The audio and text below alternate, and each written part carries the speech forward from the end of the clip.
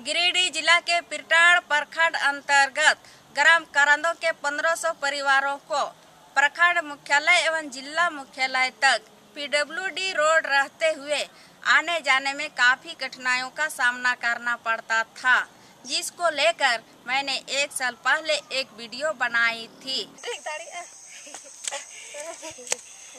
जखन वर्षा हवे तखन एकदम पूरा एकदम भर जाए जखन नदिया तखने कहाँ जबे? तखन ना आवे डॉक्टरो ना आवे है।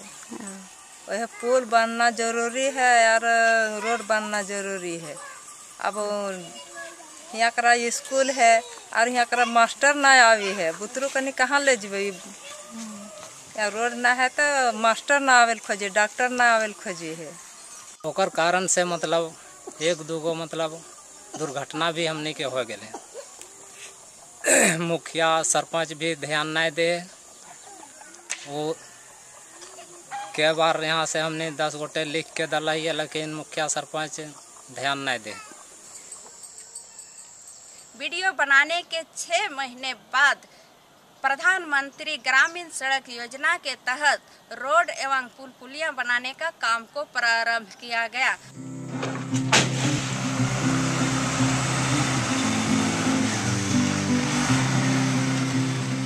जब हमने रख लिए प्रस्ताव में तो अभी वॉलंटियर वीडियो तैयारी करके यहाँ से जब हमने भेजलिए तब हमने के रोड जैसे कि यहाँ करा अभी बने के शुरू हो गए। और वीडियो बना के ना भेजलिए तब तो हमने जनता सब भी रहतलिए हमने जानवर के रूप में।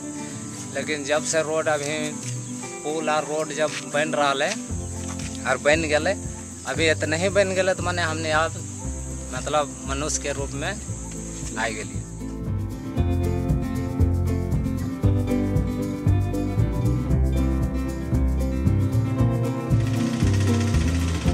आज जाए, आवे के सुविधा, बाल बच्चा के पढ़ाई लिखाई भी अच्छा से स्कूल जीते।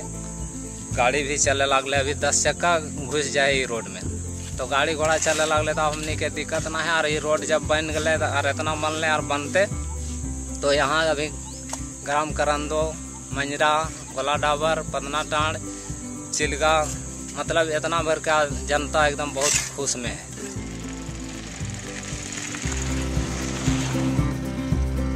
उक्त वीडियो बनाने का मेरा उद्देश्य यह था कि ग्रामीणों को यातायात की सुविधा मिल सके। सचमुच में कैमरा झूठ नहीं बोलता, तभी तो हमारी कैमरा एवं सामुदायिक पहल से रोड एवं पुलिया में यह बदलाव आया है। इसलिए पथ निर्माण विभाग के तमाम अधिकारियों को मैं और मेरे समुदाय की ओर से धन्यवाद देते हैं। मैं अपर्णा मरांडी, जिला गिरिडीह झारखंड से इंडिया अनहट के लिए।